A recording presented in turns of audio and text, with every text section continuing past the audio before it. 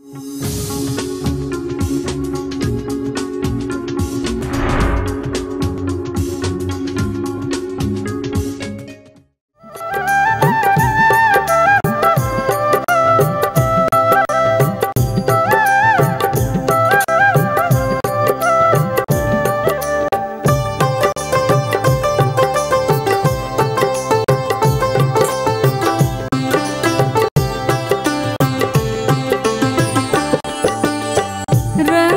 मेरे प्रिय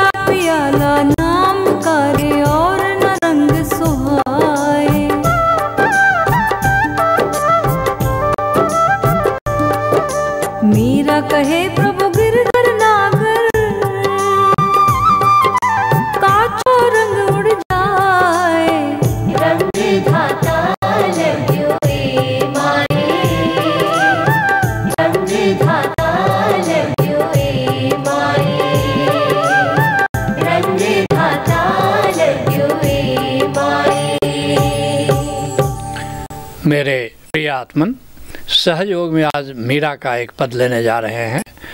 मीराबाई का जन्म चौदह सौ अंठानवे ईस्वी में हुआ और पंद्रह सौ तिहत्तर ईस्वी तक मीरा राजस्थान और उत्तर प्रदेश की धरती पर अपना गीत गाती रही।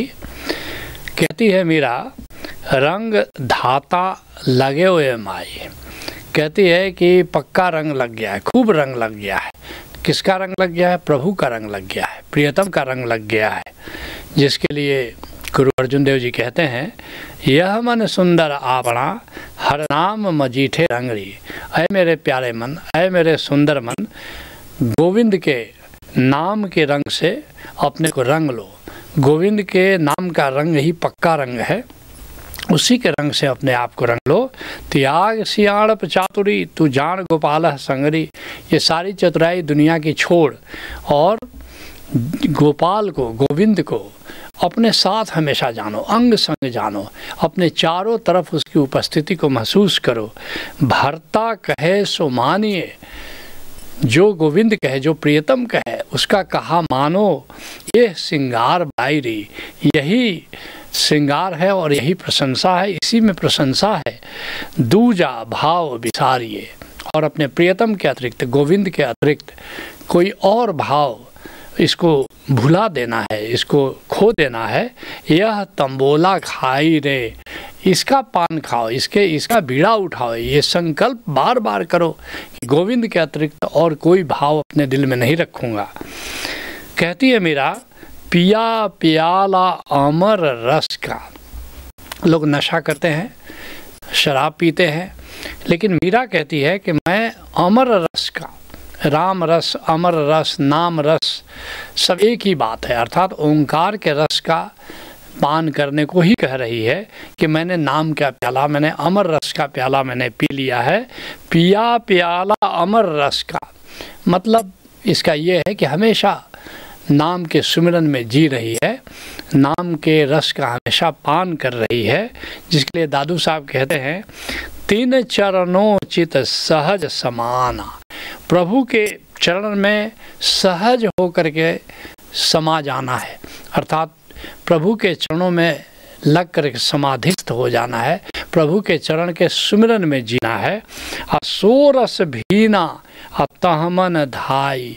वहाँ जो राम रस है, बस उसमें मैं लगा रहता हूँ राम रस का पान करता हूँ और उसी में मगन रहता हूँ।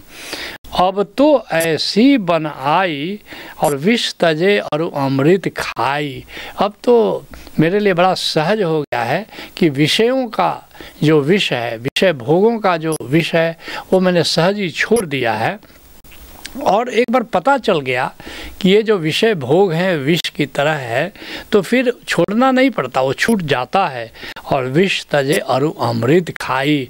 और अब तो अमृत के भोजन करने में मैं लगा हूँ। और ये अमृत क्या है? ये नाम ही अमृत है। ये राम तत्व, नाम तत्व कहो, ओंकार तत्व कहो, जो हमारी आत्मा का संगीत है, जो हमारी आत्मा का प्रकाश है, जो हमारी आत्मा का चैतन्य है, आनंद है, प्रेम है। ये आत्मा के जो डिफरेंट डायमेंशंस हैं, जो आयाम है, उसी को संतों ने अमृत कहा है, जिसको, जिसका पान कर अप, अपने अमरत्व का बोध हो जाता है। कहती है मीरा चढ़ गई घूम घुमाए पिया पियाला अमर रस का चढ़ गई घूम घुमाए। लोग नशा करते हैं लेकिन मैं तो नाम रस का प्याला पी करके ही मुझे नशा आ गया है मुझे खुमारी आ गई है। अब बहुत ज़ोर का नशा आया हुआ है। जिसके लिए बिहार के दरिया साहब कहते हैं, है कोई संत विवेकी शब्द विचारा? अरे ऐसा कोई विवेकी संत है जो नाम तत्व का मनन करता है, नाम तत्व का विचार करता है, नाम तत्व को जानता है। नाम अमलते भयो मतवारा। ये दुनिया का नशा भाँग, गांजा, अफीम इसका सेवन नहीं करता, बल्कि नाम के अमल का सेवन करता है और नाम के अमल का सेवन कर मतवाला हो जाता है। प्रेम पिए सो खारा और शुद्ध प्रेम का, खरे प्रेम का, शुद्ध प्रेम का जो पान करता है, क्या कोई ऐसा संत है अगर है तो वही धन्य है। कहती है मीरा, अमल मारो कबहू न उतरे। नाम रस का पान करने से जो नशा हो रहा है जो खुमारी आ रही है, वो कभी उतरती ही नहीं है। बल्कि जगत के जितने नशे जहान दे, उतर जात प्रभात, नाम खुमारी नान का चढ़ी रहे दिन रात। जगत का जो भी नशा तुम सेवन करोगे, शाम करोगे, सुबह उतर जाएगा। लेकिन नाम का नशा कुछ ऐसा है जो 24 घंटे उसकी खुमारी में तुम रहते हो। अमल मारो कबहू न उतरे, आ कोट करो न उपाय। करोड़ों उपाय भी अगर करूँ, तभी भी नाम का नशा उतरने का नाम ही नहीं लेता। जिसके लिए पलटू साहब कहते हैं, प्रेम दीवाना मन यार, गुरु के हाथ बिकारा मेरा मन प्रेम का दीवाना, प्रेम में मतवाला हो गया है और गुरु के हाथों में बिक गया हूँ और मुफ़्त में बिक गया हूँ। पलटू दास, अमल बिन अमली। पलटू साहब कहते हैं कि मैंने कोई नशा का नहीं सेवन किया है, लेकिन उसके बिना ही मैं हमेशा लगता है कि जैसे मैंने कोई नशा सेवन किया हुआ है।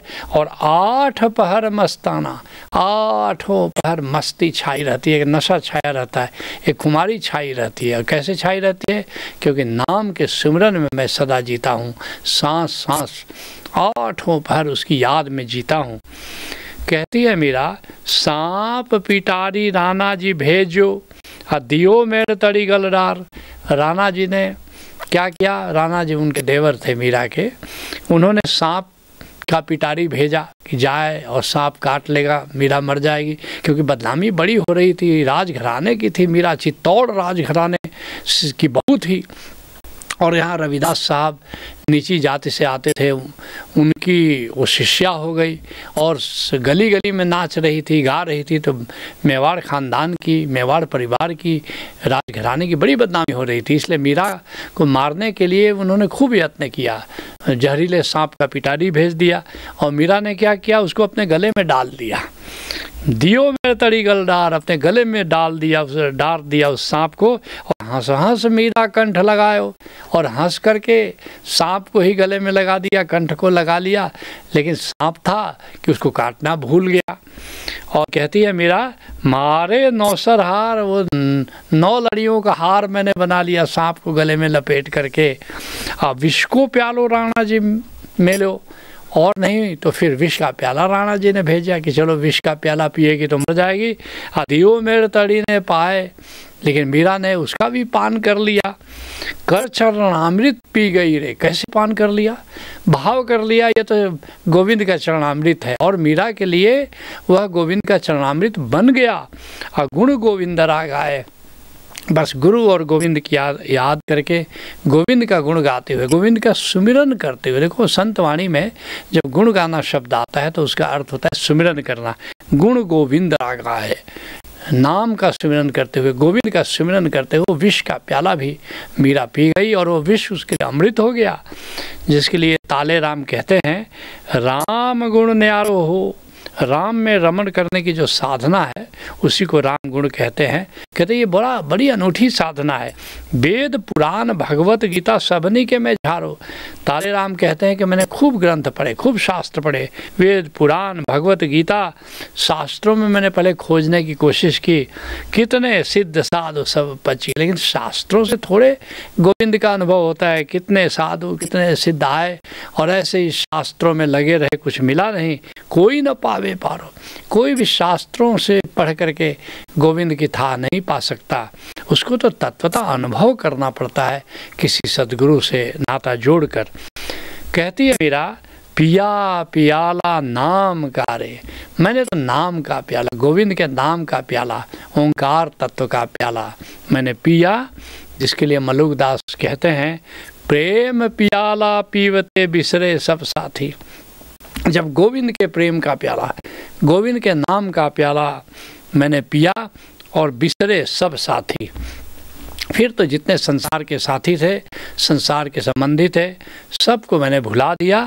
आठ पहरियों झूमते मैगल माता हाथी जैसे मैगल हाथी हा, हाथी माता होकर के झूमता रहता है।